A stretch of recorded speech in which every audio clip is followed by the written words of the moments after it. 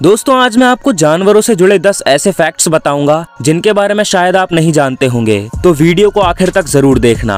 Fact number one मकड़ियों के शरीर में भी ब्लड सर्कुलेशन होता है लेकिन उनका खून पूरी तरह से कलरलेस होता है मतलब ट्रांसपेरेंट होता है जिसे कि हेमोलिम्फ कहा जाता है। इनका खून न्यूट्रिएंट्स, हार्मोन्स और ऑक्सीजन को ट्रांसपोर्ट करता है। साथ ही ये इनके शरीर में एक ज़रूरी काम और करता है और वो है इन मकड़ियों की पुरानी स्किन को शेड करके उसकी जगह नई और फ्रेश स्किन को लाना।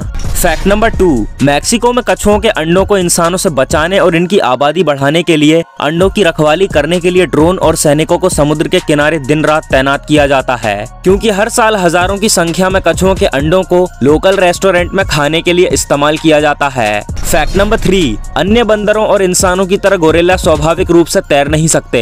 इसीलिए वो पानी और नदियों के पास जाने से बचते हैं। और गोरेला पानी से इतना डरते हैं कि वो पानी पीते तक नहीं। उनके शरीर में पानी की ज़रूरत फल और बाकी की अन्य चीज़ें खाने से पूरी हो जाती है। और जब बारिश होती है, तब भी ये गुफाओं में छिपे रहते हैं। और बारिश के बंद होने के बाद ही बाहर आते हैं। फैक्ट नंबर फोर दोस्तों, पूरे एनिमल किंगडम में सबसे ज़्यादा ताकतवर बाइट फोर्स नाइल क्रोकोडाइल का होता है, जो कि 5000 पर स्क्वायर इंच है, और ये इंसानों के बाइट फोर्स से 30 गुना ज़्यादा है। नाइल क्रोकोडाइल अफ्रीका के मीठे पानी का सबसे बड़ा शिकारी है, और ये विश्व स्तर पर दूसरा सबसे बड़ा रेप्टाइल है। इसका वज़न 225 से 750 किलोग्राम है, और इसकी लंबाई 11.5 फीट से 16.4 फीट तक होती है। दोस्तों, ये रेप्टाइल 26 अलग अलग देशों में पाया जा सकता है, लेकिन ज़्यादातर ये अफ्रीका की झीलों, नदियों, दलदलों और दलदली इलाकों में पाया जाता है।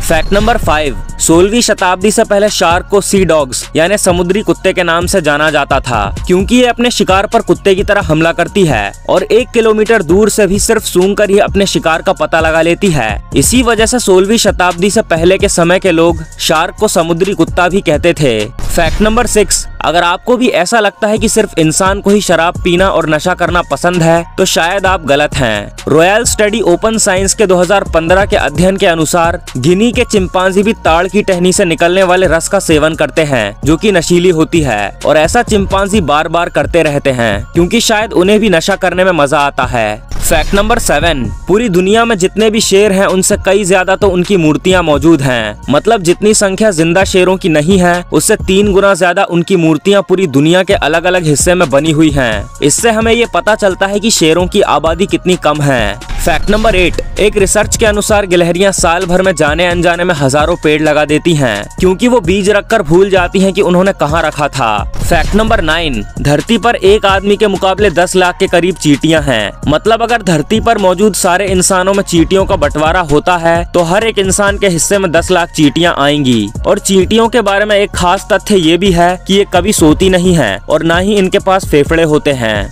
दोस्तों फैक्ट नंबर टेन से पहले अगर आपने अभी तक हमारा चैनल सब्सक्राइब नहीं किया है तो ऐसे ही और वीडियोस देखने के लिए चैनल को सब्सक्राइब करें और बेल आइकन को ऑन करना ना भूलें। फैक्ट नंबर टेन वैज्ञानिकों के अनुसार अगर शेर और बाघ में लड़ाई हो जाए तो बाघ के जीतने के चांसेस बहुत ही ज़्यादा हैं। पर इन दोनों का आमना सामना होना बहुत ही मुश्किल है, क्योंकि बाघ घने जंगलों में रहता है, जबकि शेर खुले मैदानों में। साथ ही बाघ अकेला रहता है, वहीं शेर झुंड में रहना पसंद करता है। वैसे आपको क्या लगता है, अगर बाघ और शेर आपस में भिड़ते हैं तो जीत किसकी होगी? मुझे कमेंट करके ज़रूर बताना।